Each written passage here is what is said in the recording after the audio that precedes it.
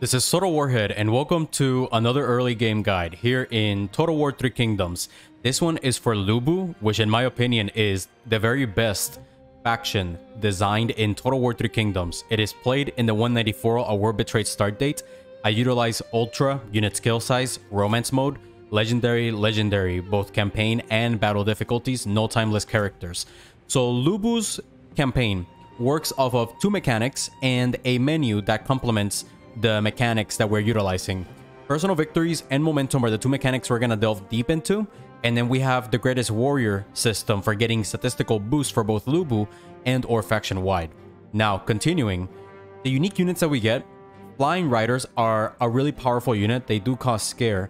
And the really advantageous thing about playing Lu Bu with this unit is that you really want to have as much campaign movement range as possible to reach as many armies as you can every single turn. And if you build armies with only heroes and cav units, you maximize your campaign movement range for your armies. So having armies of just flying raiders and generals attached to them is really valuable. Next, we have the Camp Crushers, which are for Sentinel-based characters. The utility that I would give these units is if you want to use San Majan, you use the Camp Crushers. But where they really work really well is that with very high momentum, you give extra melee damage and morale faction-wide. The melee damage specifically is for your infantry or melee units. So the Camp Crushers get that boost. And if you put them as the administrators, if they're sentinels, right? As the administrators units, you get six Camp Crushers in a garrison. The AI is going to be like, oh, hell no, we're not going to engage that. It's too powerful. We get really powerful generals. Gao Shun causes minus 55% upkeep reduction to flying riders. I think maybe Camp Crushers as well, can't recall. Diaochan is really powerful because she's an Oathsworn. And with Lubu, that means that if she falls in battle, we can get crazy statistical buffs to Lubu and heal him back up if he's weak. Really useful in the early game. Shen Gun has an AoE that lowers the statistics of generals around him, so really good if Lubu is dueling somebody to further reduce the stats of who he is engaging. And Zhang Liao is the key here. Zhang Liao has a Ruler of Righteousness skill, which if you face out an army that is stronger than your own at the start of the battle, higher combat potential, it will bring up the stats of units and general. I think generals. I'm not sure if units as well. Oh, by freaking 33%. Is it more melee attack rate? And another statistical buff. It is a really crazy advantage that you get Lubu to like 120 melee attack rate, which probably is higher than the max cap. So the whole campaign is to make Lubu into a single killing machine, playstyle focus, one-man army, and that is exactly what we're going to do. He gets disloyal, really bad trait, we're going to re-roll it. That's one of the traits that you can actually re-roll for better ones, or similar bad ones, um, when you use the Faction Council trait re-roll. We definitely want to get the Faction Council, aka Marquis level by turn 3. We're going to really prioritize that. We also get Feared, really good, and then Formidable. We want to get really good expertise and Vanguard-based skills that are good for faction leaders and how you best do that is by not executing enemy characters and by making sure that you don't try to um, lead the army. I'm not gonna basically min-max that so much, but at the very least, do not execute enemy characters because you can get some really bad traits from high Vanguard Wuxing based characters, and you do not want to do that if Lu Bu is your faction leader. Continuing, we get faction-wide buffs of minus 15% recruitment cost for Shock Cav and 15% more melee damage. Additionally, we get plus 3 morale in enemy territory. Really advantageous things to take into account. I have a lot to get into because this is a this is total war guide, right? So we definitely want to set ourselves up on turn 1 by taking as much as we can from the AI on turn 1 and then declare war on everybody and try to get Marquis, which is 150 prestige points by turn 3. Let's begin. Alright, to begin the campaign, there are some very important things that I want to delve into. We can engage the army of Xiahou and get these great buffs for our faction for 10 leaders, and we definitely want to take advantage of that. Now, continuing, something that I want to touch upon, I want to basically spend a lot of time focusing on each of the mechanics that we have. So momentums, levels 1, 2, and 3 do not give any buffs. We're an Idle Dragon. Once you get to 4, 5, 6, and that's it, in those levels, we get 25 extra satisfaction and 20% more campaign movement range faction-wide. Then we get Flaming Dragon, which is a boost at levels 8 and 10. So you can get... Actually, it increases in magnitude, as you can see in these levels. When you change the, the adjective from raring to flaming, you actually get more faction-wide buffs. So at Flaming Dragon, we get additional buffs to melee damage of melee infantry, more morale faction wide and replenishment faction wide. And if you end at the highest level of Flaming Dragon, you get 70 more satisfaction, 40% more campaign movement range, 30% more melee damage for melee infantry, and then uh, what is it? 25 more morale faction wide and 40 freaking percent replenishment, which is close to the 50% cap. So really powerful. Now, it is important for you to learn something that you learn implicitly as you play. If you're an idle dragon, you lose momentum per turn by zero. So you don't drop in momentum if you're in these lower levels of momentum. Now, if you're in between levels 4 and 9, you drop by momentum by 1. But if you end the turn at level 10, you'll drop by momentum by 2. So the key is that what you should do every single turn is to get to levels 9 or 10. How you improve your momentum is by defeating characters with your faction leader. They can be injured and you engage them and they'll be defeated. So these are just ways that you can also be able to get defeat the generals even if they appear to be hurt in a battle. That also counts. And you just want to keep doing this over and over and over again. A great thing you can do to get more momentum is to farm rebellions. And a way that you can farm rebellions is by starting with Lubu's army in Hulao Pass. Make sure you have no infantry units.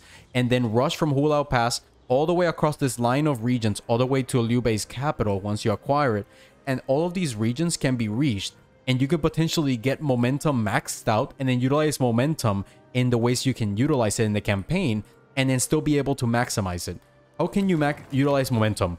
One way is to utilize the Inspire Commandery um, assignment. It is one of, actually, it might be like the strongest uh, assignment in the freaking game.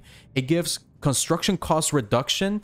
It grants Commandery cor corruption reduction by 50%, reduces construction time, but it does reduce population growth and it costs minus two momentum to initialize. So if you get to max, if you get to level 9 or 10 in momentum and you can afford to use minus two momentum to put this assignment, you should put it in every single one of your commanderies as possible. This assignment works really well in tandem to fix the chaotic rule penalty that you start the campaign with. Chaotic rule causes 30% more construction costs faction wide, 20% more corruption, and you have a lower limitation of administrators by getting minus one compared to other factions. The ways you can fix these issues is by reducing corruption through faction-wide leaders, corruptions adjacently with the indus industry building. The um, yellow building also provides that if you build it up in the court level, causing minus 10% corruption, and then that assignment also helps. And you can actually get 100% assignment reduction by combining Inspire Commandery with Reward the Defil and Corrupt or Counteract Corruption and then sentinels um, with their great expertise can help lower the construction cost by like 30% if you get a great sentinel with high uh, expertise points. That is really like the main gist of momentum. The other ways that you can actually utilize momentum include utilizing coercion and diplomacy. So if we go to like Yan and we want to do a trade with him, we can just do this and then you do coercion. Coercion can even be utilized for like asking for money from uh, vassals. I can't recall if you can utilize coercion to vassalize someone, but this is just like you can utilize it for a lot of options in diplomacy and it is really powerful and it costs minus three momentum to utilize. You can also annex a region by directly attacking it. If you right click a region and then just engage it, you have an option to annex it. If it's a major region or a gate pass, and I hate this about gate passes, it costs minus 7 momentum to annex the region if you actually go for a minor region, it costs minus 5 momentum. Now, if you annex a region, I think you actually maintain the, your remaining army action points, which you definitely want to maintain. So it is really valuable because you don't necessarily have to have artillery in your campaign as Lubu and you can maximize your movement by not having artillery or infantry units to basically reach settlements as fast as possible. Another thing that Lubu has when utilize when having momentum is that you can also utilize it um, or so the last way that you can utilize momentum is if you go to characters and you do inspire loyalty, you can actually cause a great buff to satisfaction with a character by plus 35 for 10 turns at a minus 1 one time momentum cost and this lasts for 10 turns. And it also deepens the relationship between characters. This is really powerful to utilize to try to create oath sworns with Lubu. So you can potentially farm or have multiple oath sworns that you can utilize and replace them over and over in the campaign. And the advantage that you have of doing that is that if you use Diaochan for to create Fallen Oathsworn for Lu Bu, and you recall her the next turn, or I think two turns in a row, you can potentially have her very wounded. And if she gets hurt in a battle, she'll die because she won't have any more resilience. But if you get another Oathsworn and you put two Oathsworns in Lubu's army, then you have two people that can potentially replenish their resilience while the other is being hurt in battle. So every single battle, you can guarantee that Lubu actually gets a fallen Oathsworn to trickle up or to occur. What the fuck did I say trickle up? That makes no sense. So the next one that I want to talk about is the greatest warriors. Your Lubu's army has to defeat the characters that appear here. So you basically have to go through and try to defeat characters to get faction-wide buffs or buffs to prestige or, you know, additional prestige and buffs to Lubu. For example, we can defeat both of the Xiahou cousins right here. And if you defeat them, you can get 15 more prestige. If you defeat the three kingdom, Sun Ce instead of Sun Quan, leaders that appear here, you can get a total of 25, 25, 25, 75, 125 total prestige by defeating all three of them. And then you can get some crazy great buffs for example, night battles for Lubu's armies, you don't have to have a strategist. If you defeat all the great strategists, you can see their names down here if they don't appear already visible. There's some other great ones that you want to go for. For example, if we go down, we can get Poison Blade by defeating the bandits. And then we can also get Fatigue Immunity. Uh, where the hell is it? I think it's up here. Where is it? Yep. Fatigue. Oh, no. Uh, if you defeat Cao Yun, can't find him right now. If you defeat Cao Yun, you can get Fatigue Immunity, which gives you 25% more melee evasion and 5% more charge bonus for Lubu if he has Fatigue Immunity. And that works really well with Maintain Momentum, with is a unique post-battle loot or post-battle reward option that lets you actually regain all your action points after engaging an army at a cost of having your army being winded at the start of the next turn. So you can really utilize that to your advantage. You can get Poison Blade, which can, which can help you really weaken a general by shooting them from a distance with a unique ability.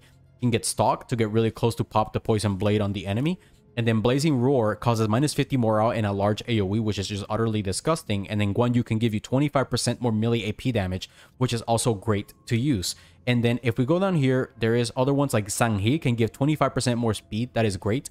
10% more melee attack rate from Joujin is also something that you really want to strive for. You really want to try to eliminate as many characters as possible. If you can defeat Liu Biao, who really doesn't spawn that early, you can get 20% more character experience, which can net you closer to getting Lubu leveled up. He's 9,000 XP points from reaching level 10. He's at level 9 to start the campaign. And then we can get Guo Si.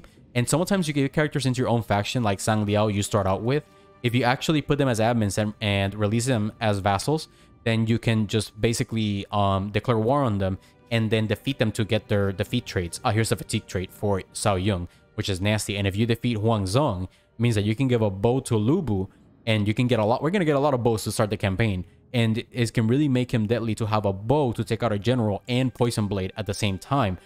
Huang Gai can get 5% more campaign movement range, which is great. Defeating the Zhuans can give you a total of 35, 60 total prestige. And if you can defeat the Yellow Turbans, you can get 15 more prestige. And if you defeat Heiyi, you get recovery, which is good, but I would it's kind of overrated. People really love going for this. I more so prefer that you get mending because recovery requires that you're not being shot at or taking or in melee in battle to recover. It's a really slow recovery. And mending is four times that you can use it, but it can give you 2.1k healing if you use it melee evasion as well, so it makes your battles move a lot faster. If you're only utilizing Lubu for battles, believe me, you're gonna waste a lot of freaking time if you just depend on recovery to get him healed back up. that gives you a good overview of good characters to go for and what to look for in terms of characters to defeat in the campaign. It works really well to actually do this as Total War because the AI prioritizes your faction so you can get a lot of enemies coming your way early on. So the last mechanic that we want to talk about is personal victories. Now, I wish, I really hate how this is designed. I wish it was a button be like, or a, like a, a UI larger right below momentum. Personal victories can give Lubu's army up to 200% freaking post-battle loot income, 250 prestige, and a huge penalty of minus 50 satisfaction for all characters, which can work really well with you keeping high momentum so you can get to 70 satisfaction, and then a big penalty diplomatically. This can go up to 10k, but if you get to 250, you can get all of the bonuses that you see here. And you get this whenever your own faction leader, or his army, defeats a character. So you can farm personal victories really damn fast as long as Lubu has as much campaign moving range as possible and reaches as much enemies as he possibly can. As for your personal victories, how they increase these parameters that we see here over time is the post-battle loot income magnitude is twice your victory value your prestige is 2.5 times your victory value, your satisfaction penalty is half your personal victory value, and your diplomatic attitude penalty is the exact magnitude as the victories. So for example, if we have 21 personal victories, we'd have 42% post-battle loot income, 53 more prestige, negative 11 satisfaction, and then negative 21 diplomatic attitude penalty. Note that the minimum value of the diplomatic penalty or attitude penalty is minus 50. Not sure why they didn't put a divided by 50 here, but who knows. The last mechanic that I want to talk about that we are not going to be using in This is Total War campaign is if we go to Diplomacy and we go to like Yan Bai Hu and we do Mercenary Contract, we can do a Mercenary Contract against another faction. So Mercenary Contracts last for 20 turns. And when you do these contracts, you basically have a bar that appears at the top that has like 25%, 50%, 75%, 100% uh, intervals. And they increase depending on fame and fortune. That's the resource that fills up that bar. And you get more fame and fortune as you defeat armies or take settlements um, from the or actually they just defeat the enemy that you are engaging your contract against. Here I'm targeting the Yellow Turban Rebellion, so I have to defeat the Yellow Turban Rebellion to gain fame and fortune.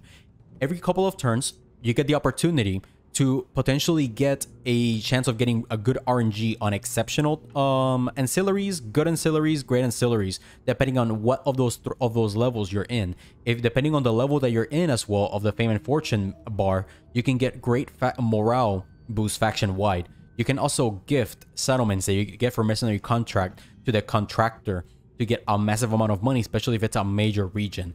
Now, the best way you can use, the way you should use mercenary contracts is don't give settlements to the contractee, or actually give them, yes. Give settlements to the contractee or to the contractor as you try to defeat the army that you're the army the person you're against. And then once you've left the person you're going up against without any settlements, you then do a switch. You can actually switch the contract versus your contractor. And then when you do that, it actually resets at 20 turns to restart the countdown at 20 more turns. So let's say here, I start the contract with Yan Bai Hu as my contractor. I basically gift Yan Bai Hu all the Yellow Turban Rebellion settlements, and then I switch it up, and then I make the Yellow Turban Rebellion my contractors and Yan Bai Hu my target. Then I basically have left my original target, Yellow Turban Rebellion, without settlements, and then I now take all those settlements that I gifted to Yan Bai Hu, and I keep all that crazy amount of money that I got from gifting all those settlements to Yan Bai Hu. That is really the best way that you can utilize the mercenary contract to your advantage, making it last up to 39 turns and making the most most in the amount of money that you can potentially get by basically gifting to your first person and then getting those settlements back. So the way they should you should look at at contracts before you get them is whoever you want to give you the contract, you want to defeat in the end. And then the person you're originally targeting in the contract, you also want to defeat. That is how you should look at this to maximize it as much as possible and make the most progress in your campaign. Something very important about Fame and Fortune resource of uh, mercenary contracts is that it goes up to a magnitude of 100 and it decays by 1. Now, if you actually let the resource decay to 0, the contract cancels out, it's broken, and you get a diplomatic penalty with your contractor.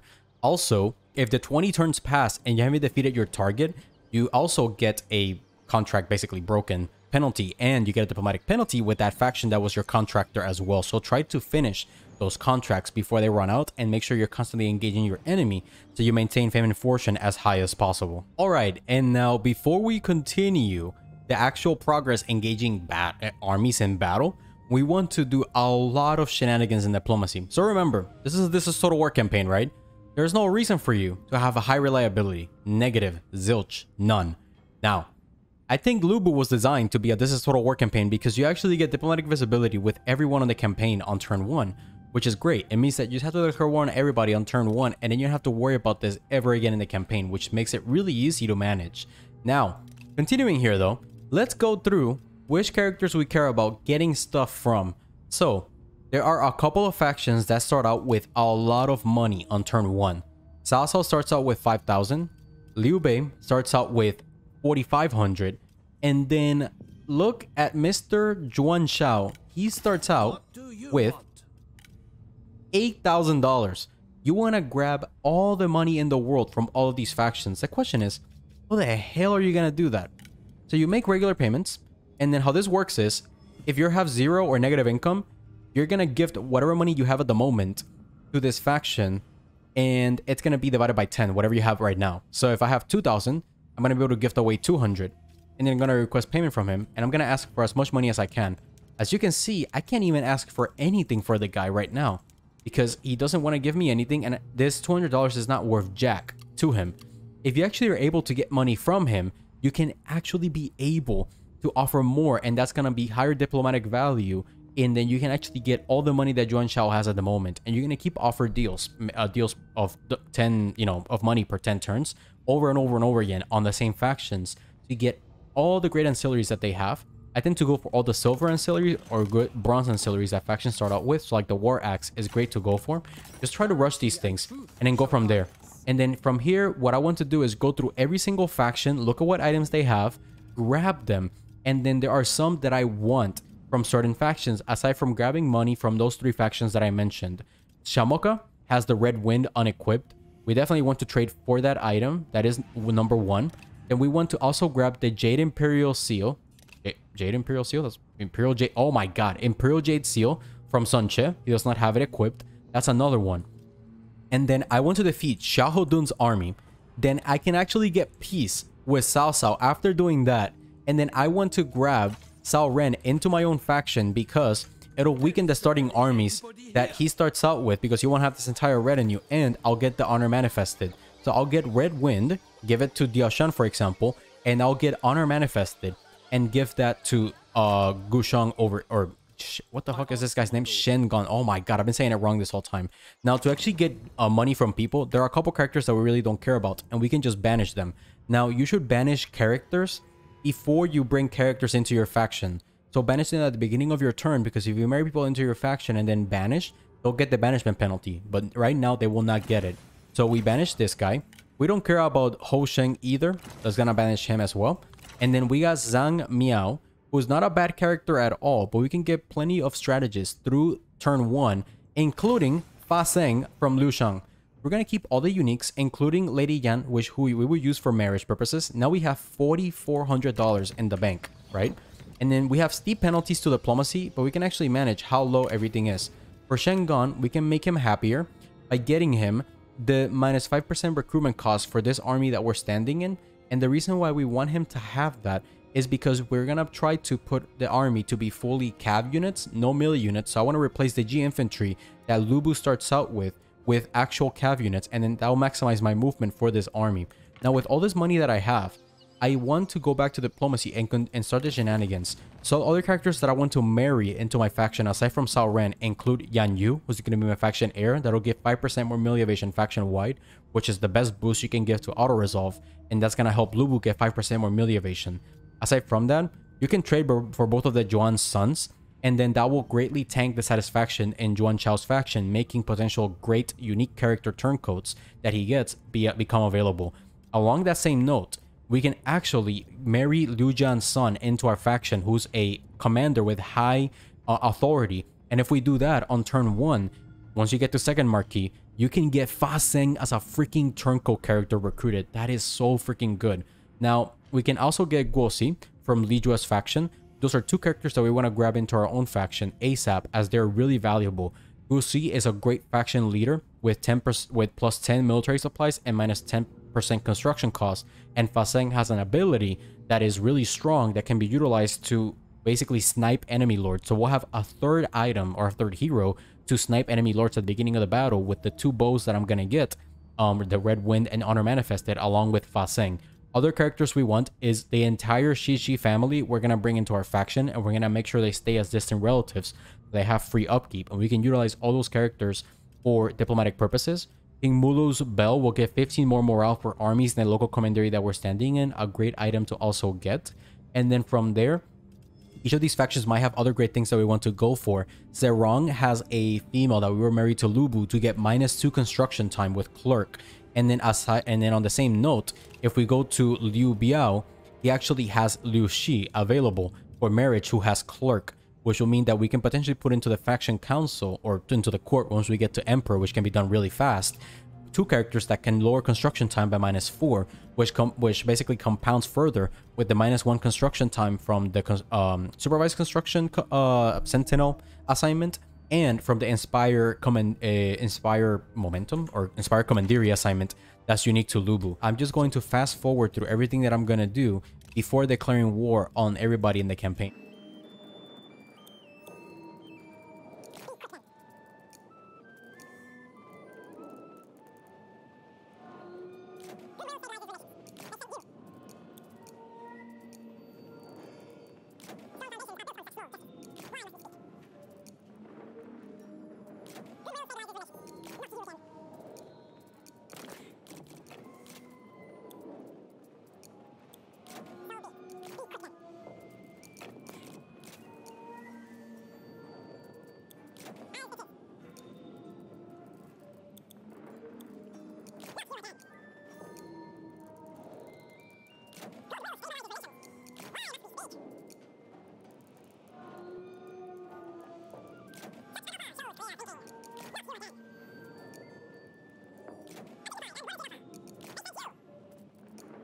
So something I do to basically exploit to best friends is I go here and then I offer all the money that I have at the moment.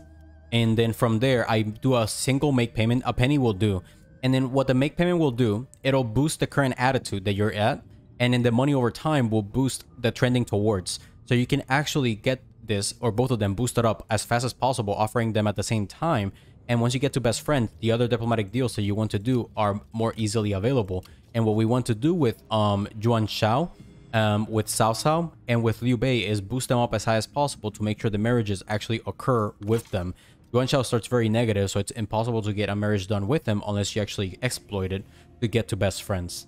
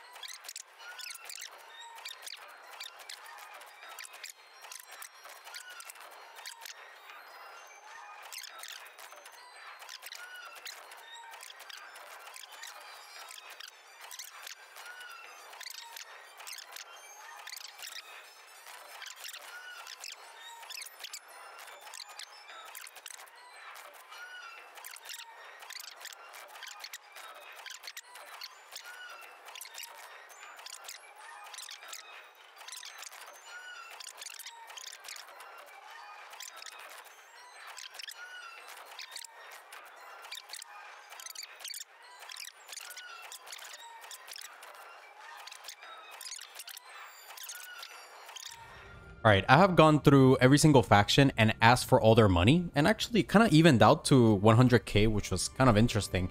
So all well, all the factions except the Nanman. So I asked for all their money. Oh, and except Lu, um, Cao, I'll be 5k more.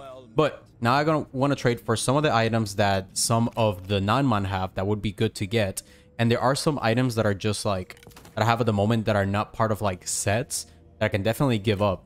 Like I got Noble's leather, I got a tempered iron skin, and then there are some items here that are not necessarily too bad. We can trade all of this minus 2.3, make a little bit of payment. And then let's make this deal. There we go. And then of course, what I really wanted was the actual Mulus bell. So we're going to get that as well. And of course, we don't care about that one. Not part of a set. He already has pretty good items. Okay, so he actually... Oh, shit. And then, see, you definitely want that. But first, the bell. So for the bell, there should be some items here that are not part of any set that I definitely want to trade that are bronze items. So, or um, what do you call it? Server items. So yeah, really big negative um, makeup that I still have to do. Let's bring this up. There we go. And then continuing, it does have this, which I do want. And then continuing, there's a bunch of spy masters. I think two of them would do, and I can still give up a little bit more money. There we go. Okay. The next one is King Shamaka, or Shamaka. There we go. And then if we go here, he has, oh shit, he has a concubine too. Bro, what is going on? Oh my god. Okay, here. That is exactly what I want to get. Let me trade this. And let me see anything else that's not part of a set. There's some crappy ones that are not part of sets. I mean, that are part of sets that I'm just not kind of prioritizing. Engineer. Okay. Let's do this. There we go. All right, in 1200, and we got the ancillary. Now, aside from that, we already got the Imperial Jade Seal. If you want, you can actually farm the items from the rest of the Nanman if you actually want to spend the time doing so. Like, maybe King C does have good stuff as well. But aside from that, let me see, Confusion. Yeah, so aside from that, though, now it's time to start doing the marriages. So, a lot of shenanigans to do. So, first things first, we're going to go to diplomacy. We're going to divorce Lady Yan. And because she shares a child with Lu Bu, she can start the divorce sim. And that is actually something we really want to take advantage of. At the same time, we can actually adopt uh, into our um, family. And that gives me another distant relative to utilize for marriage purposes. Huh, Lu Bu is Diaochan's dad. This is really fucking... This is really, really, really weird. So anyways, now we have two distant relative females and one distant relative male that we can utilize to marry people into our faction. And there's a lot of people we definitely want to bring in. Also, let me not forget taxation. Bring it up to the max because we want to farm rebellions in every single location in the campaign. So yeah, we have a lot of money. We want to just go in and basically trade or get peace with Cao. But before doing so, I want to engage this army that's over here. To make it happen though, I want to improve Chen Gong's um, low happiness. And also I want to reduce the recruitment costs that I have in this um, for this army to recruit the two cav units. Ganavian generals of the left will fix his uh, happiness situation a little bit. Let's give him this. And then from there, we're going to go to Mr. Lu Bu. And then we can give him Flying Riders. Or we can give him Heavy Xiliang Cav. Heavy Xiliang Cav have way more AP damage and charge bonus. So they do a better job as a Cav unit than what the Flying Raiders could potentially do. Now, these guys also have 10 more bonus versus Cav. So they're going to be even more deadly against Cav. Although this unit does have uh, more overall total um, damage most of it comes or half of it comes from base weapon damage so i would take the ap damage above that actually it's actually the same amount okay well whatever almost so we can just recruit two more heavy Xiliang cav they are expensive and let's get them and then we don't want these um archer militia on the secondary guy. Let's remove that. Let's remove that. And now this would give me way look at that. Look at all that extra movement that you have in this army now. Like if you wanted to you could just rush shunju. Look at that. You can even reach shunju on turn one. What in the actual world? Because what I've done here is basically removed all the units that are, um, what do you call it, infantry. So now I have as much bonus uh, movement, bonus movement uh, as possible for my army, which means I could engage this army on turn one if I wanted to, and Cao Cao's as well. And actually, you could, oh my god, so you could just go one, two, and then take and defeat Lu Shang as well. Dude, what the hell? So very important with momentum. You do not want to lose battles um, when you have high momentum or with momentum because you're going to lose momentum when that happens. So just take that into account. But anyways, what I want to do is recruit Diao because we want her to be part of this army as well. And then with her, she's going to have Perceptive, which is going to be great. But mainly the main reason why you want her in the army is because she's going to have... Um, remove this, remove this. There we go. We got the max movement again. She has Perceptive as well. She does have to be leading the army to get the extra 10% capture chance for enemy officers. Something we have to take into account. But coming back here though, we're going to give Mr. Lu Bu the Imperial Jade Seal. And that's going to get me to second Marquis. And then with second marquis, I can get two spies, which let me get both uh, Guo Si and, um, what do you call it? And uh, Fa Zheng from Lu, Lu uh, Yang. So two characters that I definitely want to go for. Now we get these two bonuses here. And now we got that marquis level. And then, as I was saying, I want to get this mission completed so I don't break the mission and I don't complete it because if you get peace with Cao on turn one, this is cancelled and you don't get this bonus for 10 turns. Just take that into account if you're trying to replicate what I'm doing. We're going to engage this army right here. And it is a close victory.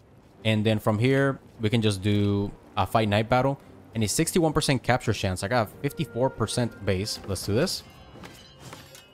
Very good. And then from there, we can just do the maintain momentum. Note that this uh, tired fatigue level for the army actually keeps stacking. It lasts for one turn, but if you keep doing it over and over and over again, it's going to keep increasing. Now we completed that. And we have to recruit a total of 15 units, which we will do. But now, if you look down here is where you can see the tired effect one turn. If I engage this army, it's actually going to go back up yet again. We're going to go here. We're going to engage this guy. And then from here, it's a decisive victory because we have the garrison helping us out. So we're going to delegate this. Good chance of actually capturing him, but then again, um, the, we didn't capture the first cousin, so I guess we'll might have a good chance of capturing this guy. We'll see. But here, actually we did. And just keep releasing characters. If you execute, you're to get really bad traits as a faction leader, which we do not want to go through. So anyways, we'll continue here. Reset movement. Very good. And now we got movement. We got tired for two turns. We definitely want to be careful with having that. But now is where the fun begins. You see this Shen settlement that we have over here for Lu Bu? So we actually want to trade this away um, to Mr. Cao and then basically get it back. So to make that happen though, um, what we want to do is actually engage uh, or trade the settlement away to Cao Cao so then we're at war with him and then we can get it back. So we do got these characters very weak from the auto resolves, which is really bad that they are this weak. But anyways, aside from that, we're going to go to Undercover Network and you're going to see Guo Si available. Of course, we want to get him and then we're going to build Undercover Network. We'll be able to pull him the next turn. I think we'll actually have enough bonus. Anyway, I need to get to like 35 bonus because I think the cover point cost of extracting a spy can go up to plus 10 more. So just wait one more turn before pulling him.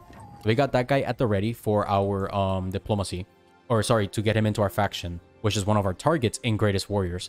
But coming back here, go back. Let's go back to the actual shenanigans with Cao Cao. Now we can actually get peace with him because um, we got this effect of Rebel Leader active. So coming back to diplomacy, double click him.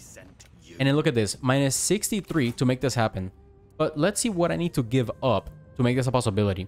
So number one, maximize this one here, the actual um, how much money you're giving across 10 turns, because we don't care about that money.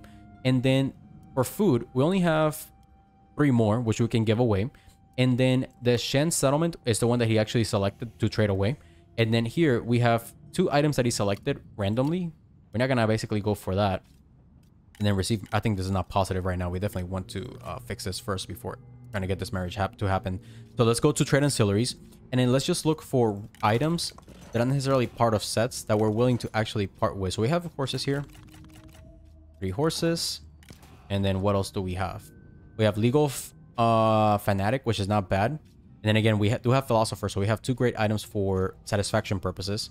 And then if we keep going down, let me see, I think there's Robe of the Omen Maker does give 10 more cunning, which is pretty nasty. And of course, weapons are a really good thing to have. Let's trade all of these away. 5.9. So we want we can lower the amount of money. Actually, it doesn't matter if I give him all the money in the world. Oh, yeah, dude. Forget this. Forget all the ancillaries. Give him all the money he wants. What? That's not doesn't make it possible? Oh, come on. Actually, it doesn't even doesn't even matter how much money I ask from him. Here, Get the trade the ancillaries because I'll I get the ancillaries back. Yeah, I forgot about this. I'm gonna trade the ancillaries. Uh, I'm gonna get the ancillaries back from him. Where's Mulu's bell? The hell? Mulu's bell? Oh, there it is. And this will actually speed things up a little bit. Let's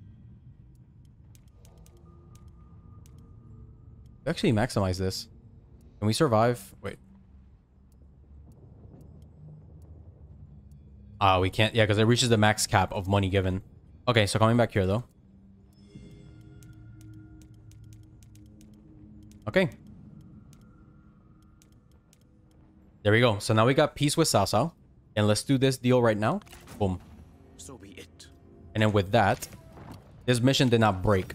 So I think what you can break is not only the first one that appears, but also if you're if you have to defeat Cao, which is the next mission that appears after this one. So continuing though, now we're at peace with him and he has this settlement. All right, so I've gotten all the money that he has. I've gotten back all of the items that I actually traded to him. So with that out of the way, all that I have left is getting Cao Ren and Cao An married or brought into my faction. So first marriage is Cao Ren. We don't care about him being um, part of the family, so we can just divorce. And we're gonna go here to the family tree. We're gonna divorce Cao Ren. He'll be okay in terms of happiness. And now we got the sequence or the honor manifested. Let's go back to this army. I forgot to do this before. Let's give her Red Wind. And for Chen Gong, let's give him his bow. And then, of course, we want to improve satisfaction or cunning as much as possible to these guys. So we go her over here. She's not going to be a part of the faction lead, so just give her this item. And then we do have Clay Dog. Oh my god, dude. It's just all these extra bonuses. Anyways, so with that, um, I don't think there's much else that I can do in terms of improving cunning with all of these guys. But anyways, we got those bows on them. And then for um, Mr. Lu Bu, let's give him the one that gives 10 more satisfaction faction wide. If, I, if we actually give him classic of filial piety, we can get plus 4 on public order faction wide. Anyways, we'll fix our satisfaction issues with that. And then coming back to our um, diplomatic situation, we're going to go back to Cao Cao. And then we're going to receive marriage with Cao Ang. And then same thing. Boom. And now we got both of the Caos, therefore lowering the characters that he has at his disposal. But also we remove one of the retinues that were in this faction or this location here. Additionally, I forgot to do this before. We want to definitely put an admin over here that will be pretty strong to have in this position in the early game to basically lower construction costs as much as possible like Zhang Liao. And then from there, be able to be a garrison for us so these armies don't engage. So we do this. We improve the situation here. And then I definitely want to build up here the patrol building, but we're not going to do that just yet. I want to first do a couple more things here, right? We can actually inspire Commandery, as you can see here. Look how nasty this is, dude. Like, freaking disgusting. But anyways, continuing though, I'm going to go through all the marriages that I want to do in this early game and basically make them all happen. So again, every single time you marry somebody, divorce. The only families that we want to keep tied to us is Jianju from Yan Baihu and all the Shis. We do that, we save as much money as possible on characters, and we get Yang, Yang, Jianju possible to be a faction heir, which is the best thing we want to boost up melee faction wide by 5%.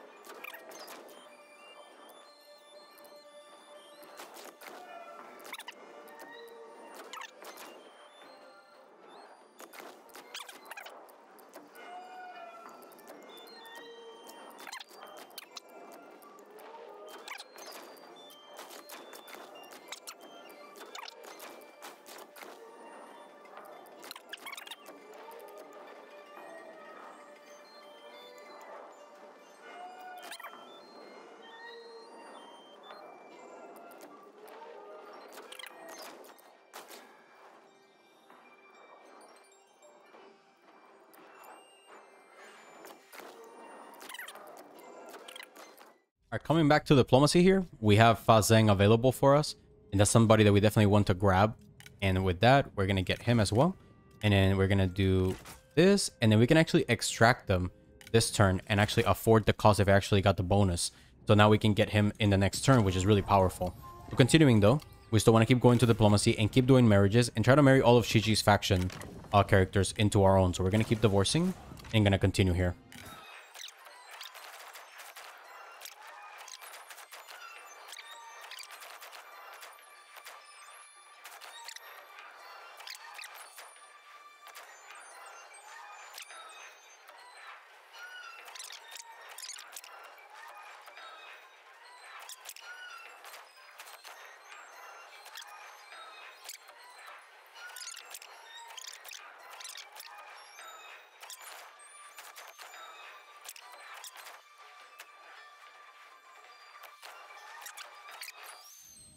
Right, so now we finished with the amount of characters that we see here, which is like 31, I believe, in total with the two spies.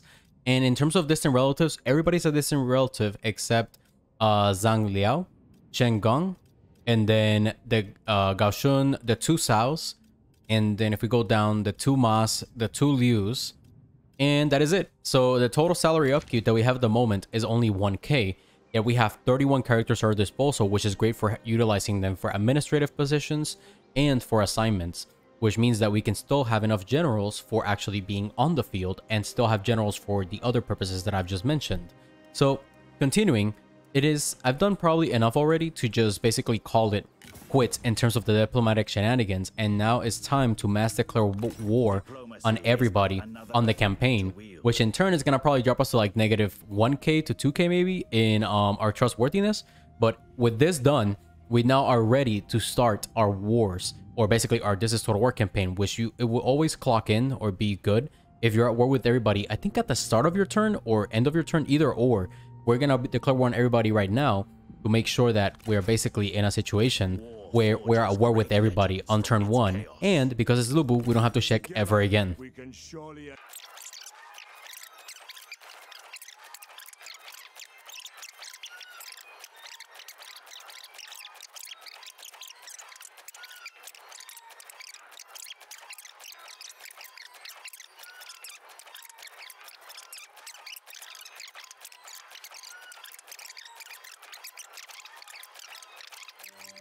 Oh, before I click enter, this will be where I'll leave the save file. Um, so actually after I click enter. So you basically start all these shenanigans that took up a lot of my time. It took about 2 hours and 15 minutes of my life to get this set up. You won't have to do that, and then you'll start on a This is Total War campaign with 63k in the bank and in a bloodbath to just basically rush and take out a lot of stuff around you as fast as possible. I would say to, to build the communal farms, actually this turn will be the best thing you can do. Um, even though it costs a lot of money it's actually worthwhile because now you have this big garrison in case anybody engages you. They have to confront that and that'll get them a bit weaker. So aside from that, I think we're in a very good state. Oh, really very important for you. Do not, if you see the Han Emperor in a region, do not capture it. If you do, you're stuck with the Han Empire as a vassal and you'll break the This is Total War achievement. So just keep that in, in mind when you're proceeding throughout the campaign. You just, you know, you don't make that mistake. So anyways, let us sit here let us continue. So Cao Cao decided to pay this the rats to hide the snake, so it's gonna hurt me trying to pull characters because it's gonna cost minus 20 to my overall network game per turn. So it's gonna cost the Guo Si to now be at 7, so I can't really pull him. The only time you should try to pull is if you have a net total of about 35... If you have a total of 70 in cover, then you can do build on the cover network and extract spy by and being able to su succeed in, in one turn. And you're gonna have to be able to do that because you can't fail Else, if you do build on the cover network and then try to extract and you fail, and you have five turns of negative 18 gain, you're gonna be stuck there trying to pull people. Even if we want to get Simon out from Liu Biao's faction, we're gonna do that. He's at 55, so we're not gonna do build on the cover network and extract spy just yet. We're going to wait. It actually costs 20 only for him, so we can just wait till it's at 60, so the next turn to actually be able to pull him because it's I think it costs minus five for him to uh to do use cover points. So aside from that, we do want to get to a total of seven momentum. But we also want to deploy good characters to proceed this way to engage these guys. And as I mentioned, these two armies will move forward and they're just now easy pickings to take out with only four generals to engage. But beginning here, we're going to get a couple of characters deployed. So Mr. Jianju is very nasty. We definitely want him deployed, but we need somebody that has a 25% campaign movement range like Ma Shui over here. We're definitely going to deploy Fa Zheng. But the first one we want to deploy it's like Shiwu. He does have 5% replenishment as leader of an army. So let's get him. And then continuing, let's get Fa Zheng. And we're also going to get, continuing over here, Jian Shu. So with this, we have pretty good replenishment for all of these units. But what we want to go for is basically maximizing my campaign movement range. So only keep the cav units on this army. Now, to get him to move though, I can't really do it right now. But can you? Actually, you can. So what we do is we actually move Shiwu outside of this retinue. And now these guys have movement. And from there, with these two guys, we can actually reach all the way over here. But we're going to have to actually be on force march. Oh shit, wrong one. Uh, to do force march to actually reach both armies and reinforce, um, what do you call it? Lu Bu. But here we're gonna we can uh we reached the maximal seasonal redeployment, so we can't do much there. And then irrigated farms we want to build here, and we also want to maximize our amount of food produced because we're gonna build tall. We're not gonna have that many minor regions to help us out. But continuing here, we we're gonna now proceed over here to get um what do you call it? These guys moving in force march. But for this character, he does have 52% extra um in ammunition for own retinue. We will give him a bow, and we actually just give him right now the one that uh Chen Gong has. So let's go here. Mulu's belt will go to Yanyu. Actually, no. Yanyu needs to be our faction heir. So let's go all the way over here. And then get... Where is Janju at? The hell's Janju? Dude, I don't see him. Am I, am I fucking imagining shit? Where the fuck is he? Oh my god, there he is. Okay, make air. So now Lu Bu has 5% more, um, what do you call it? Melee evasion. He starts at 32%, so that's great for us. And then aside from that, we don't necessarily want a Lu Bu to actually be having, what do you call it? This item. There's some great combos that we can actually give. Let's go back here to Mr. Janju. And let's look at the combos that we actually started out with. So preservation. Oh, That's not shit. The shit fucking sucks. We can get a total. Oh my god. Oh, we don't have book of changes. Okay, continuing though. There are some other good ones. Monopoly. We're not gonna be trading. Forget that. Martial law. We don't care. I think we're gonna have to give him a raider. Autumn heralds winter. Yep. So remove from Lu Bu. And then the set is where is it?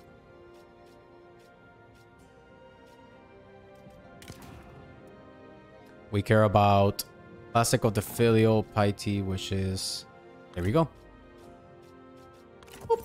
And then Fa Zheng, we definitely want him leading this army.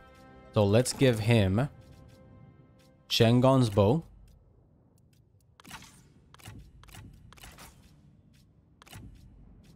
Very good. And then continuing where he already has that. Over here. Can't really give him much else that is really good. Go up. Oh, that'll be good. Okay.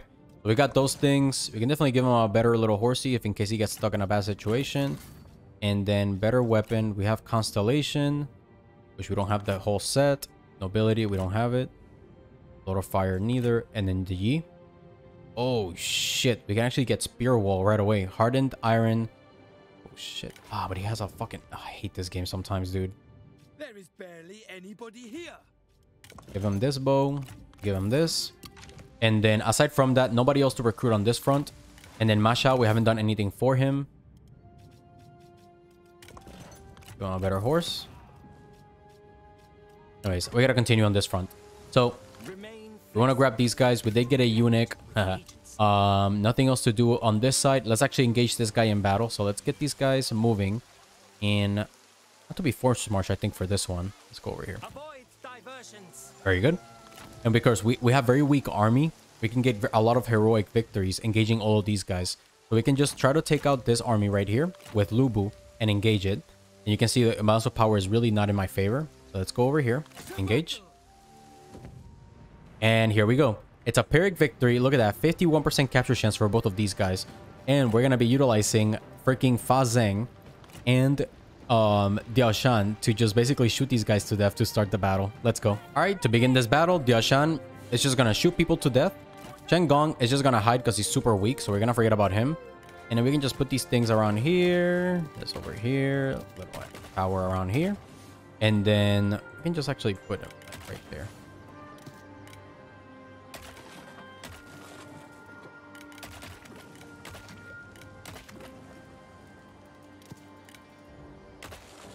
There we go, in case I step on it. Okay. Continuing. Lobo at the front. Little cav units in the back. Can I just fucking hide them? Here.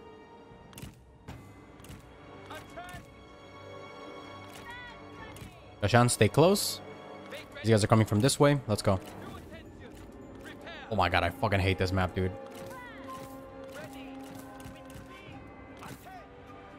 We want this guy at the front. This guy as well. Oh my god, dude. Look at freaking Mock, man. 8k damage across 60 seconds.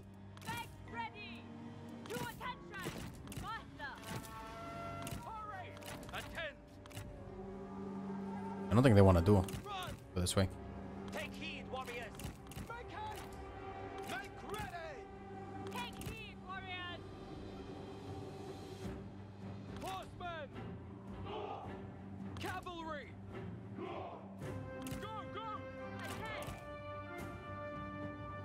Where the fuck are they?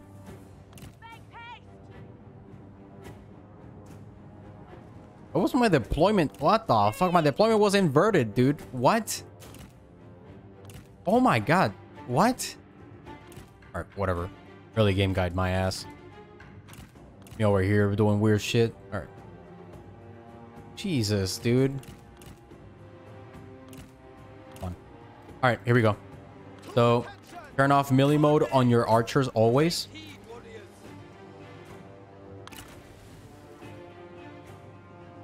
We're gonna shoot this guy, Is not good enough. and she's gonna shoot this guy. I mistook your whining for a child. Ready! Yep, they don't want to do. it. Come on. Hurry! Double time! Make ready! The time has come!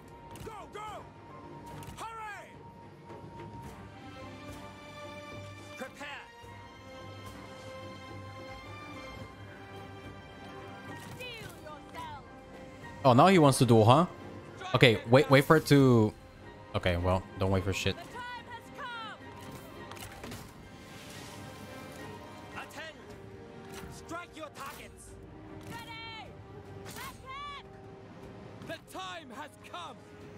Here you go, Lu Bu.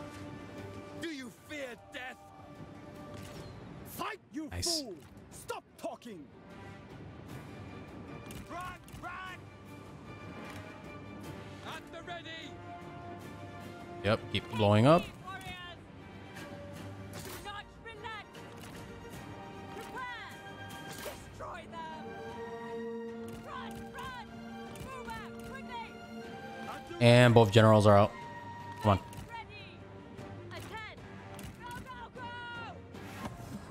Woo! Fucking Lu Bu, dude.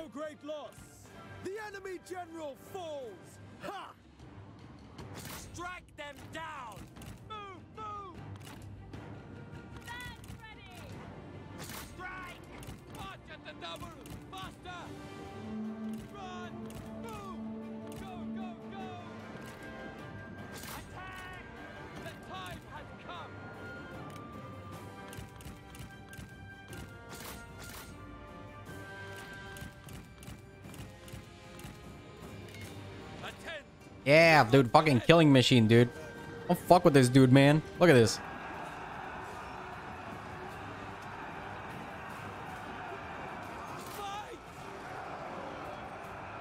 Turn, turn around. Come on. It's around it. Very good. Yeah, my fury. March quickly! At the ready. Yeah, boy. Move! Kill them! Unleash fury! The time has come! And sorry, if it's a fucking general. Alright, come on. Look! The enemy run! Craven!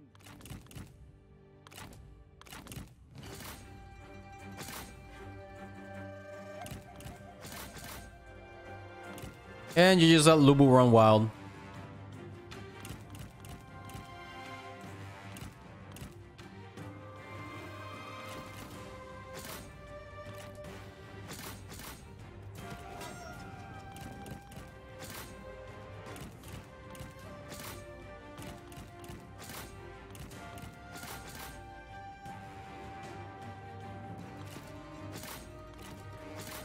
You can just rush these units if you want to. And that's it. So you definitely want to at least weaken everybody. So just rush. That's what you want the cav units. So just rush units and take them all out. That way the auto resolve to finish up the army becomes really minuscule. And you just fast forward through it. Especially the trebuchet. Trebuchet has very high combat potential, so just try to weaken them as much as you can.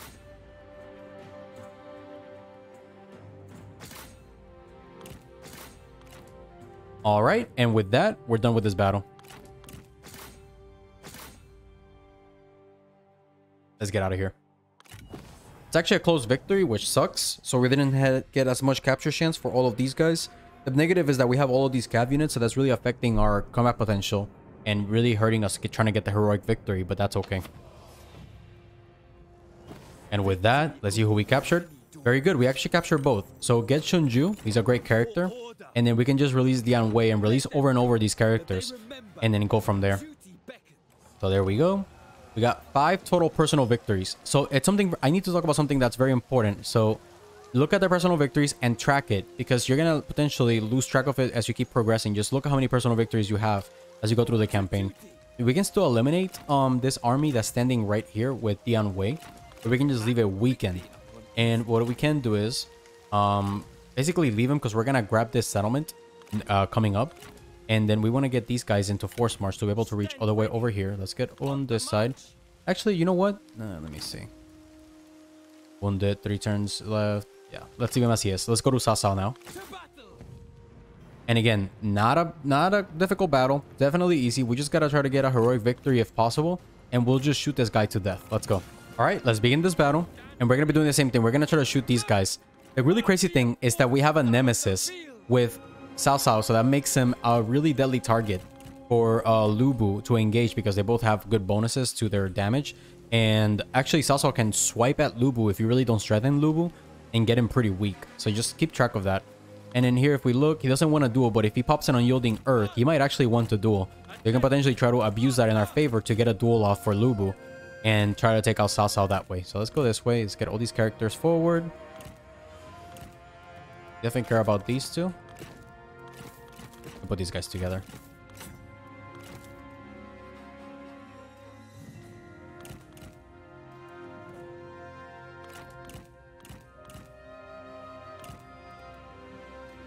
Okay, so here we go. You can shoot him.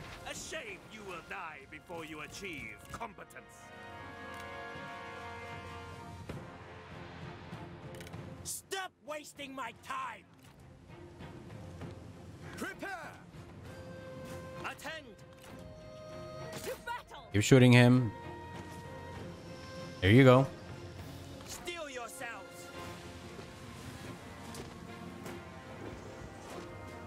Double time. At the ready! The time has come. Ooh, ooh, abuse it, abuse it, abuse it. Prepare to meet your. Really doesn't want to duel? That was supposed to scare me? Hurry! Move!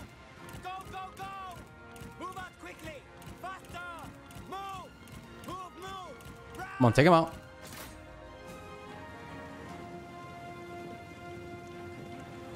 Run! Run! Hurry! Prepare! Move out quickly!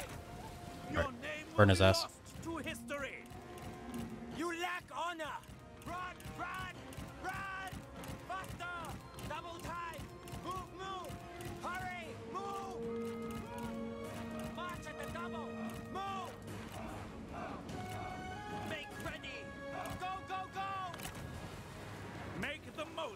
Burn him, burn him, burn him.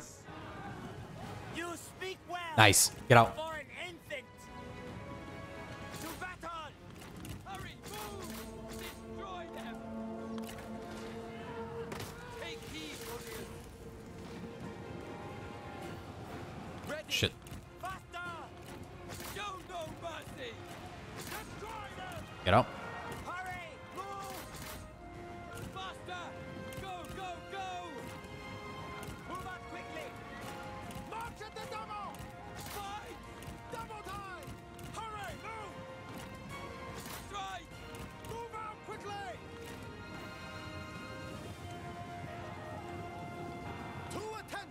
Come on, shoot that bitch ass. Oh my god, dude. This fucking... This thing is so nasty, man. We're really mocking Cao Cao, alright?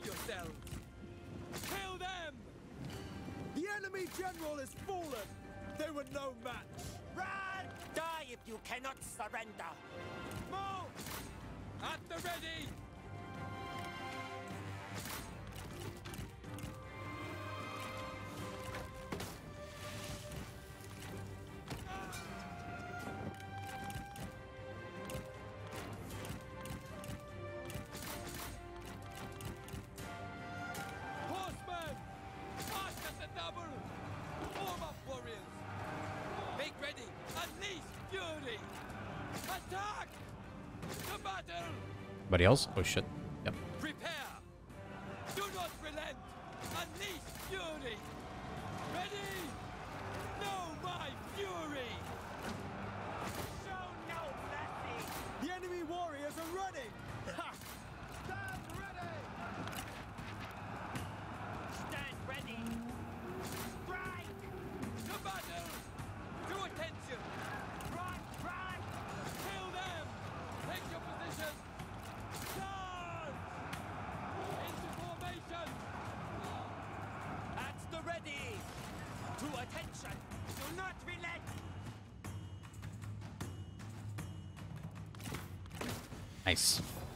And that is it. Again, chase. Uh, forget that tower. Actually, you know what? We don't have to necessarily chase and just forget about this army. It should be pretty weak now. All right, very good. And with that, we have eliminated both of the large armies. Ah, oh, still a close victory. So we have eliminated the, both of the large armies, but additionally, we have 7 momentum to grab Jinshuan this turn, and then from there, get the nasty faction council buffs on turn 3 right, there we go. Seven momentum. Excellent. We captured Yue Jin. That's good. And then here, reset movement. And then we get feed at Cao Cao as well. And then look at that. Marquee 114. And then here we can go NNX. Let's go this way. Boom. Ah, damn, dude. So spy amount is fine where it is. Armies, we don't we're not gonna keep improving because we care about getting as many administrators as possible. So assignments, we can't really get it um, as high as I want. Um, if I look at admin, let me not confirm this just yet. If I look here, yeah, because I don't have any more admin positions, I kind of have to rush trying to get one more admin than I want in order to have as many admins as I potentially uh, can get. So let's do here. Let's see. I definitely want to get 25% more character experience, but let's see. That'll give me two admin slots, three admin slots, four admin slots, and then minus 10% character salary for all administrators. Let's take advantage of this one for now. And then from there, um, mm, let's see. Three, two, there. I think this will be good. So I'll give me three admin slots, and then from there, boom, four admin slots and two assignments. I think my no, two, and then that'll give me three assignments that I can put for Inspire Commandery around where I am, and then this one as well. I think this will actually be a good quantity, at least for now. That'll be four admin slots, so I can start building the Eastern Wall of China by doing this, and then continue from there. I don't have potentially enough assignments. All right, in terms of point allocation, we want to have enough admin slots for the three major regions that I'm going to try to hold. Well, two, and then Hulao Pass, that'll be the third one. So that'll give me a good enough basis to operate from. So I think this will be a good quantity to have. Three assignments is a bit of a limitation, but that'll give me three assignments and three admin slots to use because I'm at minus one administrative slots. Now I'm playing Lu Bu. And with that, we look at how this place is built. It is a food making machine. This place is super valuable. And with that, we can get Shishin or Sao Saoang to produce even more food locally. And then Shin is another great food hub. You can put Saoan or other characters like Zebu to produce food as well, giving us all these extra buffs. Han Chung as well, who's a random. I mean, this is just nasty. That's now I'm definitely not gonna have negative food proceeding with these bonuses. And as for this region, we're definitely gonna keep the prestige bu- building prestige buildings built.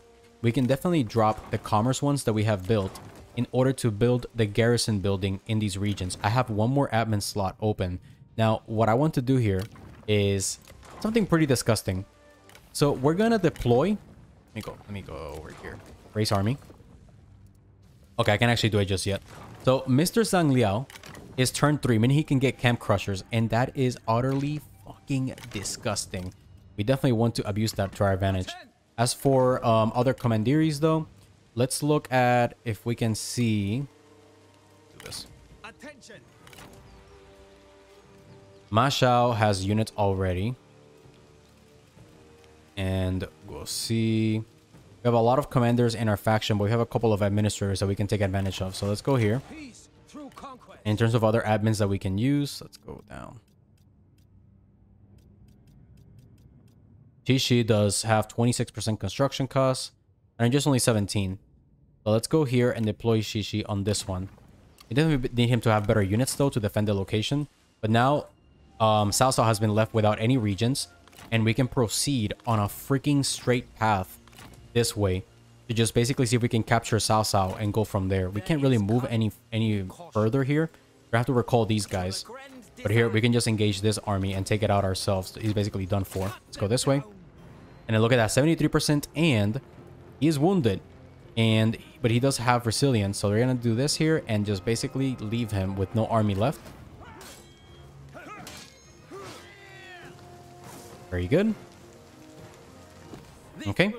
And then if we captured, we captured Yue Jin again, release, we could potentially capture him in a bit.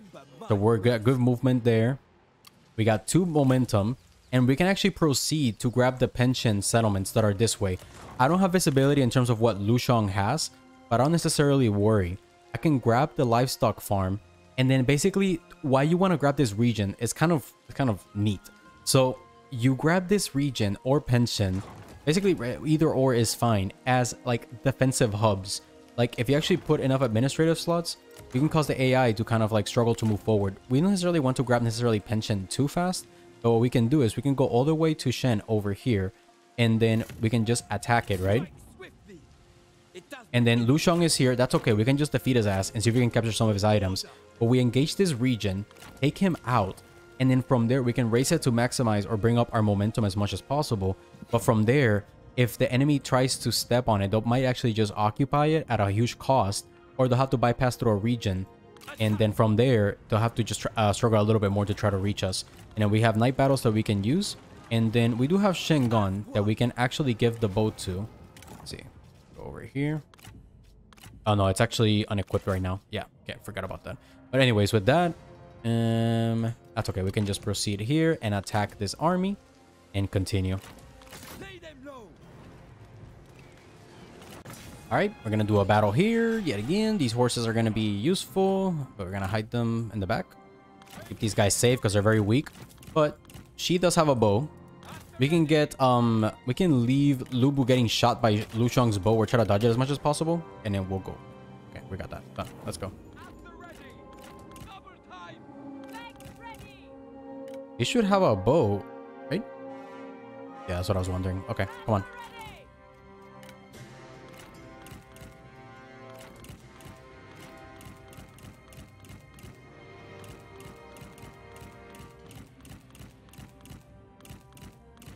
Fucking cheese, dude.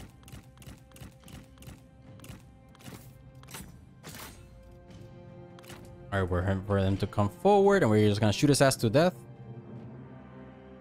Nasty little cav unit, dude. Fucking disgusting.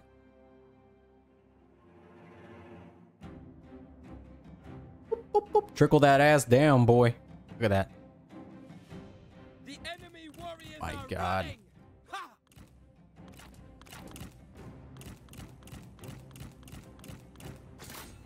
Make sure he doesn't come back, and if he does, we'll rot his ass.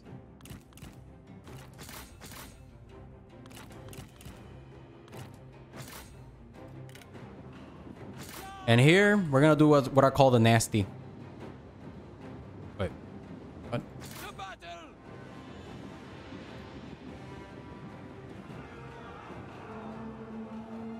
It's surrounded. Oh shit.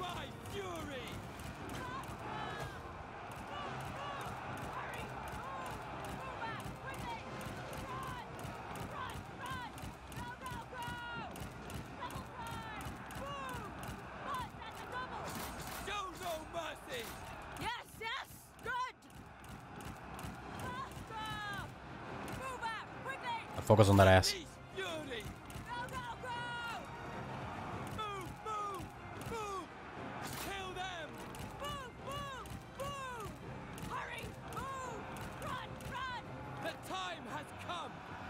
Alright, he's out of his scav unit, that's okay.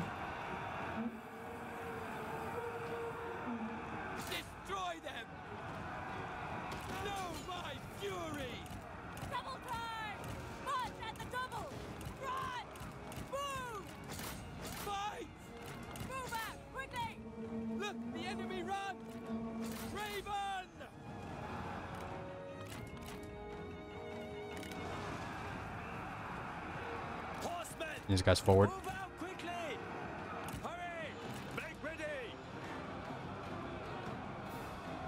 There we go. So we're lowering the Rage of Lu Bu to occur 50% faster.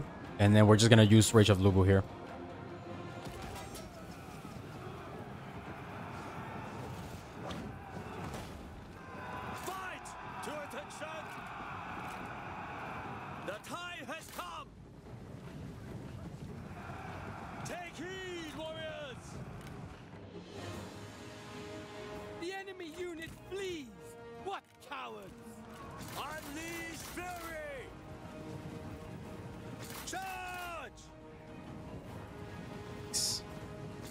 Come on, hurry up, boys.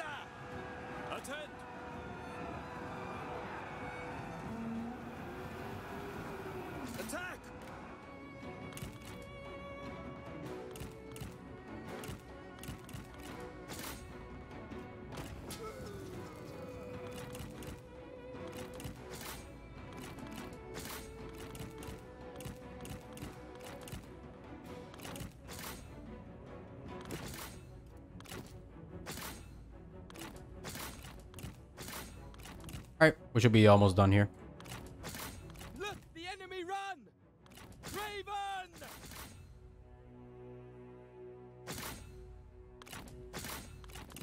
Oh shit. There we go. And now we've defeated Shengun. He's not one of our greatest warriors, but it's still valuable. And if we actually capture him, we can execute for his little nasty bow, and that'll give us three disgusting missile weapons for three strategists to start the campaign. And if we get Shunju, that's somebody with Brilliant, which will help us get even more ammunition. Victory opens many Oh, god damn it. Really didn't get it. So anyways, we can maximize our momentum. So let's get um here the raise. Leave nothing but And then from there, this is the really valuable thing. You can actually retreat back up, back, um, or actually move at the actual end of a race. You still have your remaining action points. You can go back up. Let's go this way so nobody can reach us. We won't be able to replenish. But what we're going to do is we're going to recall some of these. Actually, we can just keep these guys. These guys could potentially be engaged by him. But we can actually take them out with, um, even we're on force march, we can actually take him out. And then this general, we can just remove for now and then recall him and we'll redeploy him to lead this army and then uh, we can still use Mashao to go towards Hulao Pass in order to actually annex it and then we'll grab all of these regions already by turn 3 as for a faction council there are some positions that we definitely want to fill up. Let's look at who's really unhappy. So we got Liu Zhang who's always unhappy. He's a freaking problem. And then who's got titles? Let's go this way. And we need to go to Zhang Liao we should actually remove this already. And here let's give him way more that. And then he is an admin i should have actually given him minus one construction time go here and then for the same for my other admin which is the she guy we want to give him another builder slot or item maximize that Give him this. There we go. And then as for titles, let's go to Mr. Zhang Liao, who has one that he doesn't need. And we also got this um character, Shunju, which definitely want to redeploy into because he's nasty. He's got freaking brilliant. And if he's an admin, he does give plus five food, also good. Anyways, coming back to Zhang Liao. Let's get remove him from that little title he has. He doesn't need it. And then this guy has the 100 extra happiness. That one, he's still good. And then coming back here, we want to fill Grand Director and um, Grand Tutor. So in terms of characters that are unhappy right now, we got Zhang Liao. Definitely want to make him happier. And there's some others might actually that might actually need this as well. Let me see who's level uh four. Anybody level four yet? No, nobody. Okay. Actually, if we go here and put him in this slot, I think that'll be more valuable. And then Chancellor is 50% more peasantry. And we'll fill up this slots in the next turn. We don't necessarily care about these other bonuses. But here now we got 17 food. So we're in a very good food situation. We got two food assignments, minus one construction cost to fill up this area. And then this one as well, um, we have good construction cost reductions Um, we can actually reduce we reduce construction costs a bit more, I believe, right?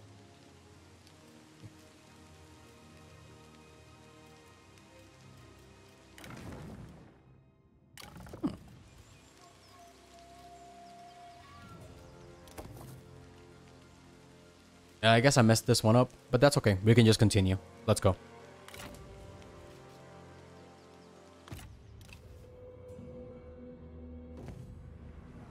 Alright, and here's Dian Wei engaging us. He does have full health, but Mr. Vaseng, um, he doesn't have his bow anymore. We'll have to just try to engage this guy and take him out with his um ability. Let's go. Alright, let's begin this battle. We have to find wherever the hell this guy is.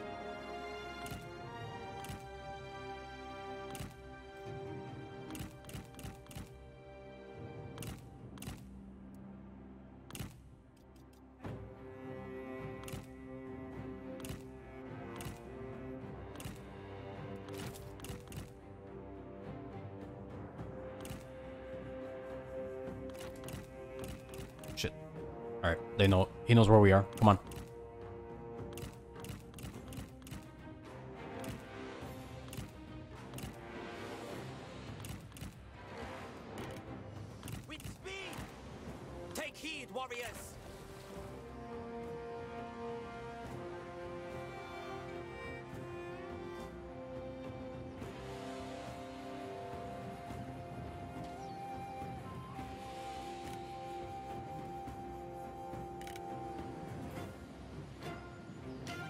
Come on, come on.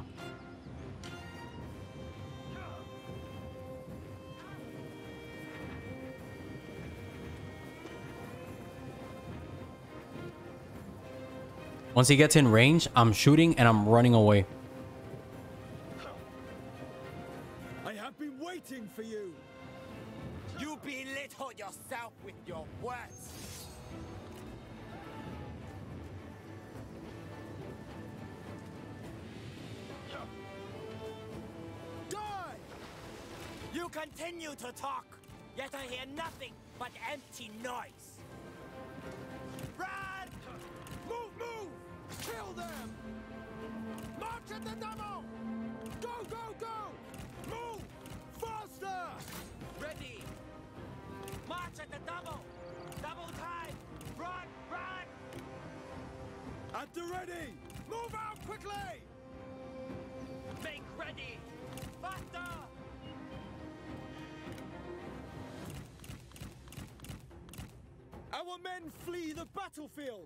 Make it out?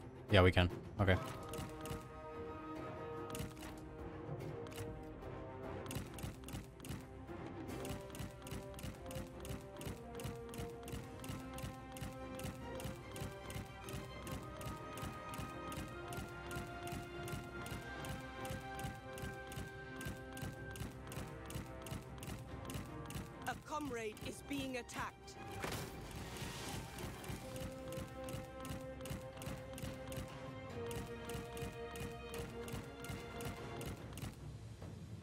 Come on, tower. Kick his ass.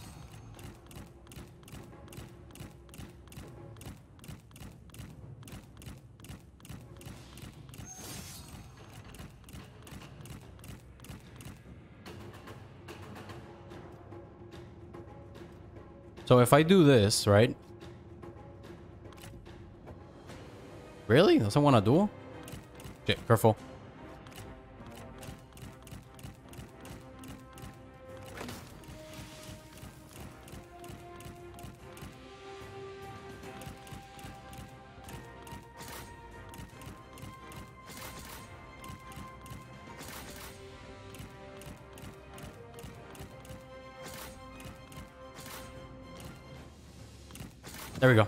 We got him.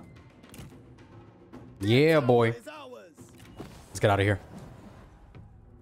And with uh, Fa Zheng having uh, patience leading the army in the heroic victory, the Wei should be able to be captured. Okay, let's go. And with that, boom, and now we got him into our faction. And with that, um, we don't need to reset army points because it's the end of the turn, so we can just do more money. Very good. Very, very good for us. All right, we got minus 20 morale from Tumasang's army, and then a bunch of diplomatic stuff. Oh, shit. So we completed Growing Might, and then we have to destroy Cao Cao's faction, and then we reach Marquis for $2,000. And nice. And then now we just need to get Emperor of China and defeat Cao Cao's faction. There's two other missions, right, that have to do with Liu Bei. But anyways, oh, sh- Oh, can I get both? Oh, oh, oh, oh, oh, oh, oh, oh. Hold on. Hold on. Okay. Uh, maybe him? Move him out of the army. Stop, stop. Okay. Fuck, dude, stop. Okay. There we go. Oh my god. Oh, whoa. Movement exploit, bitches. And then, yeah, we're gonna get Masha all the way over here. Oh, shit. We can reach. Oh. What about Lu Bu? Oh, can we reach without. Resume standard stance. Nothing will stop us. Oh my god. Show them heat. Okay. So, aside from that, though, starve out this region. We'll attack it. And we can take out Cao Cao in one, what, three turns? Okay, now, this, what is this? Oh my god, dude, this is so nasty. So we have somebody that has Flames of the Phoenix. Now, we just need somebody, like, for example, Gao Shun. Where's his ass? Where the fuck is he up? Oh, he's at the top. Okay, yep. Let's get Gao Shun in here.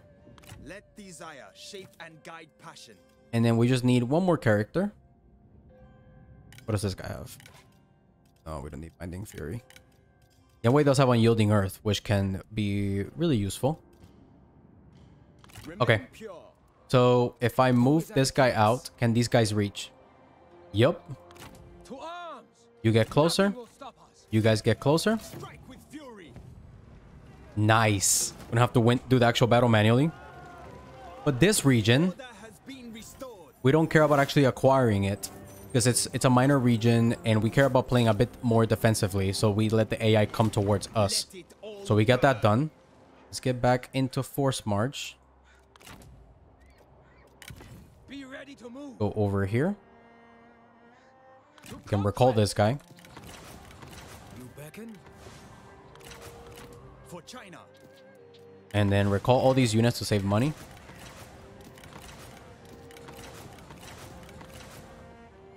Oof, we got visibility all the way over here. Oh, so we actually can rush. Oh, we can rush Nanyang and then build it as another defensive fort. So we get basically get Nanyang, Jinshuan, and then Hulao Pass as our defensive front if anybody pushes from these areas. Okay, okay. Gather your strength. Oh, we can reach. Oh, because remove the units. Okay, okay. Welcome, my lord. So with that, Presence is heartening. We can keep these guys deployed, but they don't have reach, so maybe not. This.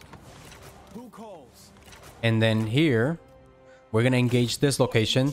And we have eliminated Sao before turn 2, so he's not gonna be able to pop the Faction Council mission on us. Oh, yes. Actually, I don't think... Is he even a Marquis at this point? Because he was pretty damn... Well, he might have actually started already a Marquis. I'm not even sure. Let's go. Alright, so let's put my Xian... Disgusting Xian Marauders around here. Put this guy over here. And then let's wait for Lu Bu. Yeah, boy.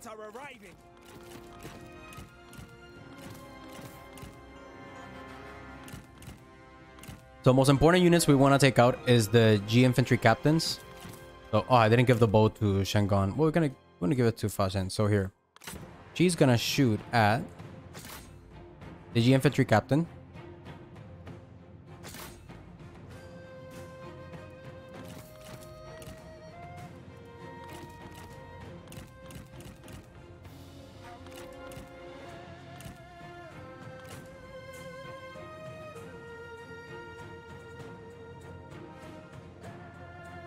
Come on, come on.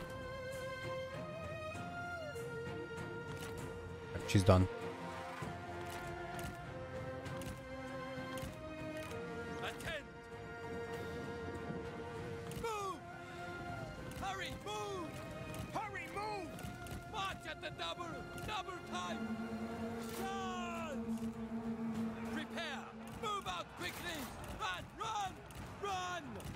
Faster. Unleash fury. Know my fury! Make ready! Nice. Go! Double time! Move! Wait! March at the double! Show no mercy! Attack! Keep it up! That's right! There we go. Move! Move! Come on.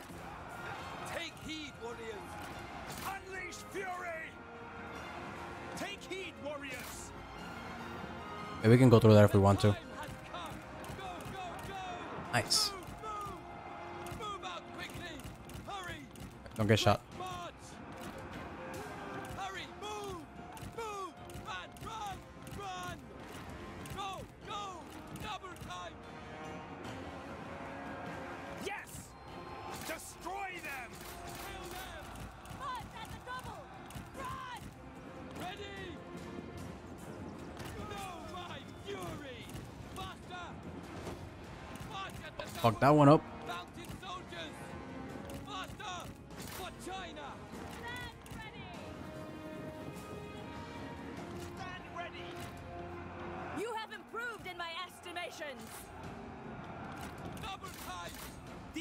Warriors are running! Come on, come on, come on. To attention! Take heed, warriors! Well, she got hurt, but that's okay. You will answer Make for Lu Bu go crazy now.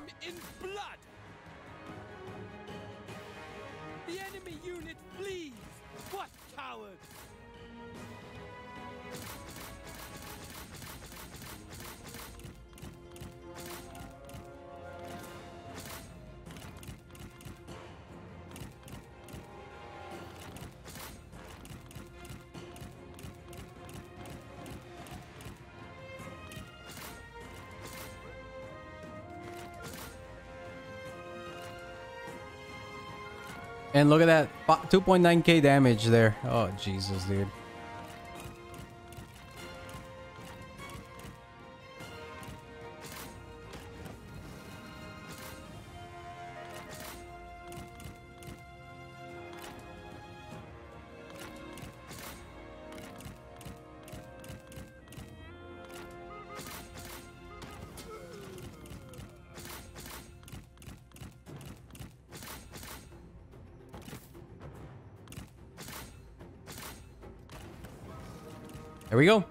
That should do it. All right. Pretty dirty win, but we got it. Cao eliminated. Damn, dude. Freaking crazy. What is this? Turn number three? Oh, Jeez. All right. And with that, he is done. So the race is the most valuable thing that I could do. I already got 10 momentum, which is great. But with the 10 momentum, it means that I could have actually initiated um what do you call it? I could have actually initiated an Inspire Commandery before this battle. It is what it is. We couldn't do it. But with this now, we can raise this location or utilize it. There could be somebody that actually attack us, attacks us this turn. So I'd say that racing might be the best thing that I can do. I don't really care too much about the replenishment here with these units. So let's do this. And if somebody occupies it, we'll get it back. It! There we go. So nice. Cao Cao has been defeated on turn three. And now we have to destroy Li Jue's faction, which is like all the way to the freaking northwest. But aside from that here, we need to try to retreat as much as we can back up. And then with Lu Bu's army as well. Let's go this way. Now we have 10 total momentum already, which is just disgusting. And then here with this army, we do have the when near appears. Let's remove this. Let's remove this. And we got these places getting built up. Um, let's get on this one. Grain storage, maybe. Let's do this. No, hold on, not grain storage. I don't really care too much about the reserves. We got those. Oh, right. What am I doing? The construction building. The military building. There we go. And now we got two massive commanderies with, oh my god, with everything getting built right now. And then race army, we can't we don't have any more seasonal retinue deployments, which we definitely want to actually increase as much as we can. We got those done. We want to get as much food as we can. There we go. And 25% more food. Bam. So we're at 33. And we're staying pretty positive with the overall food situation. And from there, if you actually want to play negative food, you can as uh, Lu Bu. You just need to put Guo Si as prime minister or heir. to actually make it be uh, able to actually make it happen. So anyways, I think we're in a very good situation here in terms of settlements. We're not keeping any minor ones.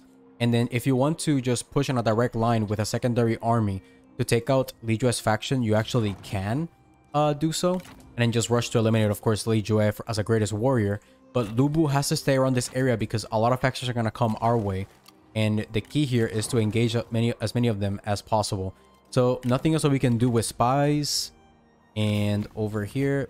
Stop clicking peace, man. Okay. There we go. And that is all. Let us continue. All right. To begin this turn, we have the faction council available. It is spring 195. Let's... Oh, dude. What in the actual... Bro, we got Cao Cao. Oh my god. What? What?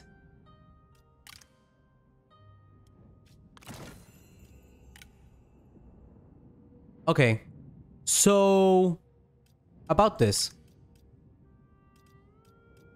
Um yeah. What is this? Counselor demonstrant. Okay, anyways. Stop, stop, stop clicking random shit.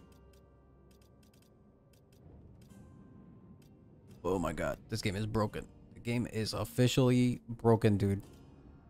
Who the hell fuck is unhappy? What? Is there any other uniques that we can put into these positions that we care about? Well, there's Dian Wei. That'll make him happy. Oh my god, bro. What in the actual fuck? This is a weird ass court. That is all I have to say. I mean, just look at this thing, man. Look at this court. What? You know, I might just put this guy, uh, what do you call it? His faction heir. No, I'm, I'm fucking around. So yeah, we he does have Shadowrunner, which means he has very high cunning. We can give this to, um, what do you call it? We can definitely give this to uh, Diaochan or somebody else. And aside from that though, I mean, the faction council positions, Chen Gong is just raiding. And then here, we can reset the skills of Dian Wei. Um, but we don't care about doing that. And then we have, oh my god, agricultural focus. And then 200% character experience for that character. Let's see what good rolls we can get. Dian Wei, roll. Liu Zhang, we don't care. Can we get Lu Bu? Ma Nope. Xiao? Yan Yu? Ooh. Maybe we'll get Lu Bu. That's all I care about. Alright, so I kept rolling this until I got what I wanted. So I got a Yan Yu uh, character skill tree reset. See if we get a good one. And then aside from that, we're going to get the 10k population growth faction wide and 200% peasantry income. That doesn't change. And then from here, if you want the other economic one for industrial and commerce, you kind of have to remove the rest of the penalties here, like the quell dissonance and commandery in uh, Jingxuan, if you want to actually get this uh, place fixed as well. So you just have to basically try to roll this as much as you can. Actually, you know what? Let me actually re-roll this again. There's Yanju still. He does have pretty good traits, actually. We can just keep him as he is. Ananjue, we don't care about. Here, can we get Chen? Let me see. Think we might be able to roll Chen. There we go. Let's get Chen because that one's really where the enemies are going to be coming from. And then get the food here. And then Juan and Jian. We don't really care too much about her. So we can just select this for Liu Biao to really weaken him. And then here, we don't necessarily care about spawning the... Actually, we can prevent um, Gongsun Zan or hurt Gongsun Zan by spawning this. And we do have the bug fix mod. So this actually is going to work. We can just do all of this and really mess with the AI. And then keep these selections. And from there, boom, minus 700 and upkeep went back up. And then if we look at this region, the garrison, this place got better, uh, better garrison. Garrison level increased. I'm not sure if it actually increased. Huh, weird. Okay, so anyways, with that done, we don't necessarily have to build anything else in these regions. What we care about now, though, is actually proceeding this way um, with Mashao. And let's get a bit more replenishment. And then this one as well. We want to be able to reach all the way over here. So what we care about is causing the AI to move towards our own regions. So, oh, look who's there. Ch- Get, what? What are you saying, dude? Let's get the Shan deployed. So this guy's pretty hurt. We don't necessarily need him um, with us. Your arrival is this? welcome, my lord. Just remove him from here. And then we care about two very specific people. Diaochan and then Fa Zheng. And then she has her bow. He doesn't have his bow because I took it off. Let's give that. And then yeah, let's give it boost up his expertise. And then for her, nothing really that she can wear. No horsey. Well, actually, yes, there is. So we can give him Cao Cao's weapon. Trust of God. And then we can give him Shadowrunner as well. I don't have a Jade Horseman, so I can get 30 more charge bonus for own army. That's okay. And aside from that, we can get Patience if we want to to capture her because she has those axes which are disgusting. Let's appoint him as general so we get the Patience. And then we want him to definitely attack us. So let's get. Peace Let's put him over here. And 100% already.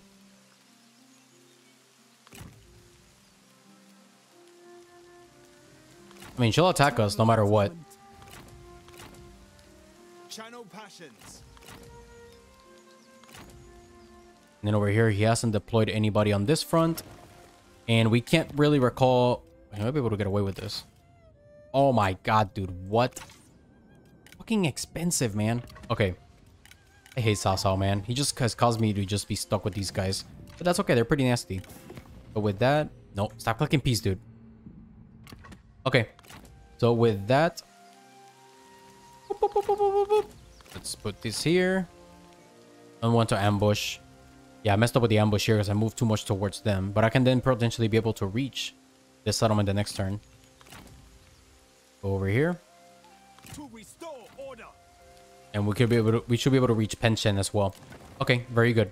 So with that, we do want to set up one army over here. Um, to move towards uh, in a straight line towards Li Jue to basically eliminate him for the next faction council mission.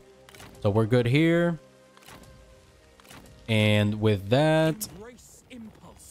Oh yeah, we do want to get extra 10% replenishment. That's a must-have. Okay, we got that. So we're at 43% at the moment with the current momentum that we have. And we should be able to proceed in this direction. Let's get a couple more people. Let's get Yan Yu, of course, because we do want him in every army. And we reach the Sino deployment max count. So we're good there. We need to get to a uh, regional city.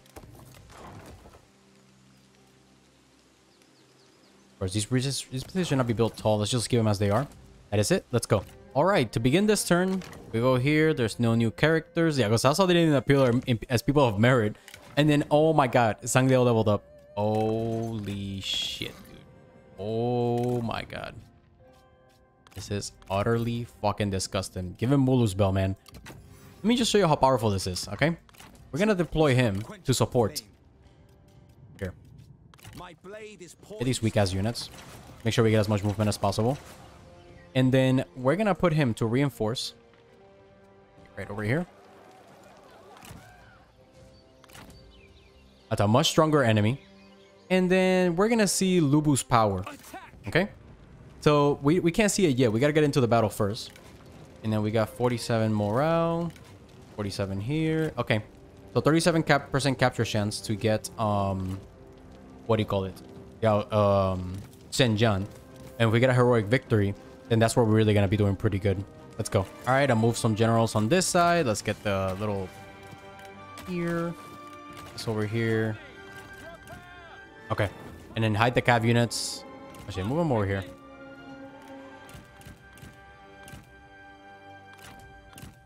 Okay, so let's actually group up everybody. Uh, going this right here. And then these two together, turn off guard mode. And then all four of you together. Okay. Yep, fast forward. Very good. And there's a forest in between us. So I shouldn't be engaging um directly. I need to do like a merry-go-around. Like this way. Okay. Now, does she have any spear units? Doesn't seem like it, so I can just do a head-on rush if I want to.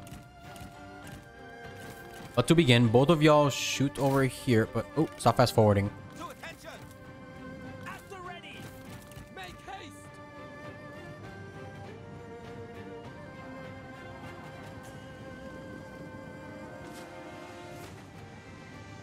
Move, move! See if you can shoot her to death.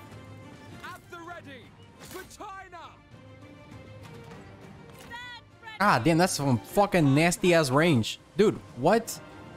Look at this slope, man. Bruh, what? Yo, Shen, what the fuck do you have here?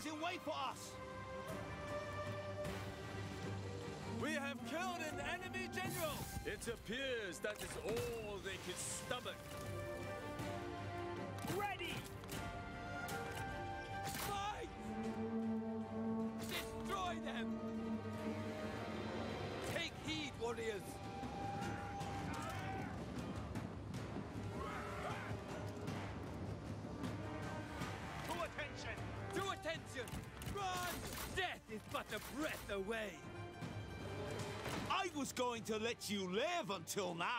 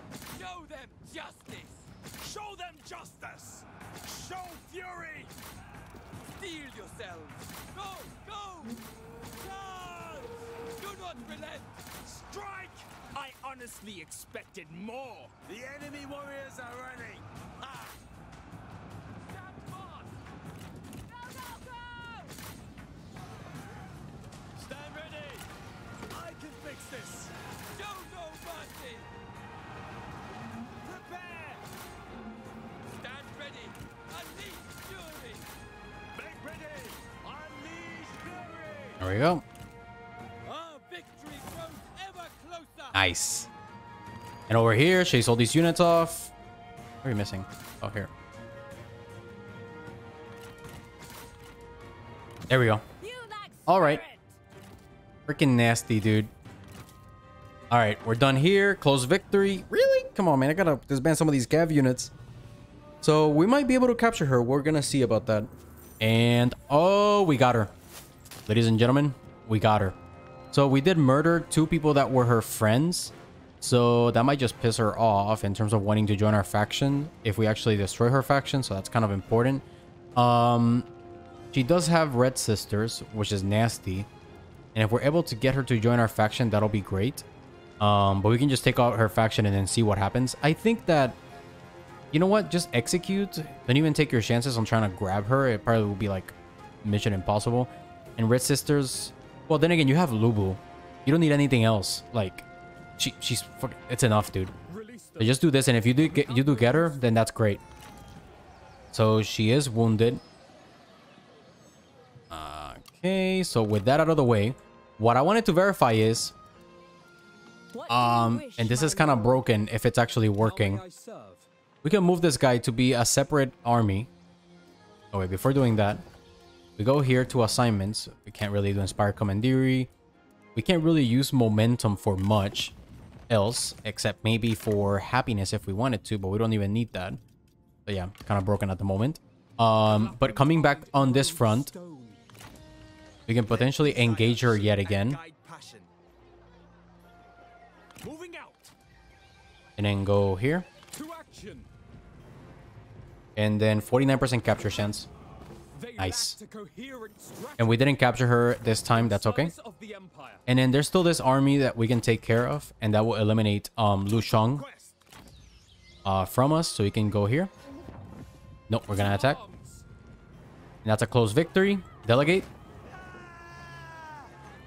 And with this, we have yet another location that we can utilize for an administrator and for defensive purposes. So I'd say we can do an occupation here.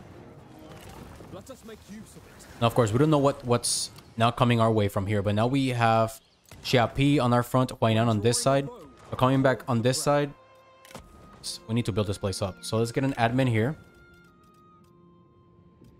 Go down. Hmm. Going. And then for this admin, let's go down and give her that's not what I'm looking for. Let's go down. Here she is, dude. Okay. And then let's give her... Does she have builder? There we go. And then what can she get that has good expertise? Here?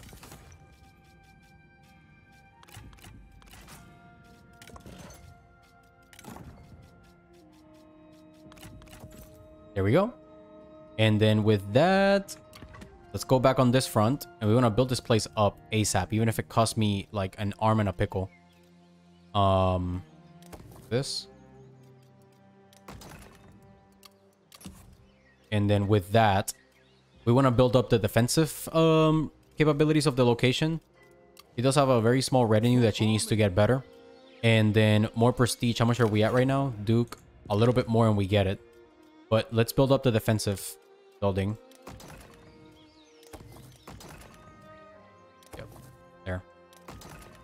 We don't care about this one. We can keep this one for now.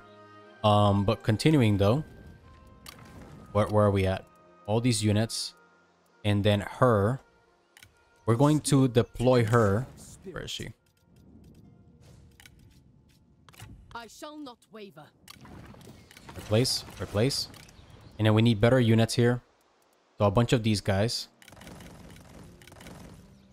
And then we're gonna recall her. Deflect with shield. Very good. Ma Xiao has leveled up. Fatigue resistance would be good. Conscription also with extra melee damage. I'd say that here we can just keep rushing this way to internal blaze. Rewarded our passion. Yeah, we can just rush from the north, from the top. Okay. Very good. Follow the heart. And then we'll build the prestige building here. Very good. And we'll get this retinue built up. And then what I wanted to verify is if. I move him out of the army, then I deploy Cao Cao. The fuck is he? Oh my god, does he have Nemesis? Oh! Oh, no way! Holy shit, dude. What the actual fuck, man? Oh, that is so nasty. Oh, that is so nasty. That's it, dude. Fucking GG, man. Okay, I think I'll just finish the early game guide here. So, literally, eh, you have Poison Blade now with freaking Lu Bu. You have Fa Zheng in the house also to help you out. You have to be careful if the enemy comes in with night battles. That's kind of like the big thing you have to watch out for. But dude, fuck, dude, whatever, man. Like literally whatever. You have an Oathsworn and you have a uh, a guy giving Nemesis to Lu Bu. So his stats are just gonna go freaking bonkers.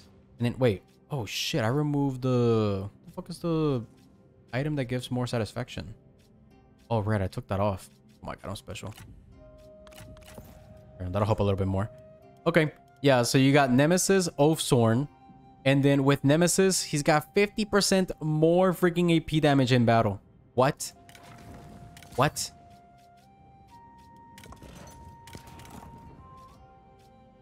Yeah, dude. Okay. GG's, man.